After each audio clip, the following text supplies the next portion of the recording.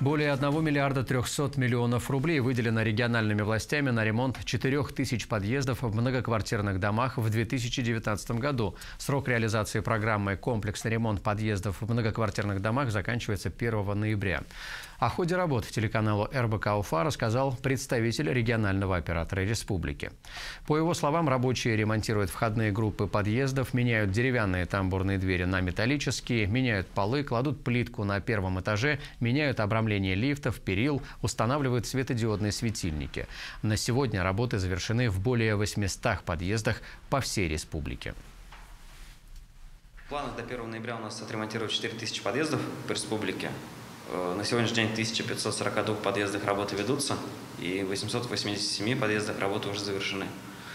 Э, до 1 сентября перед нами поставлена задача отремонтировать 80% от всего количества планированного. Это примерно 3200 подъездов. Одна из самых больших причин, по которой затягивается ремонт в подъездах, это вот э, интернет-провода, телевизионные провода. Ну, ремонт уже практически завершен, а провода до сих пор висят.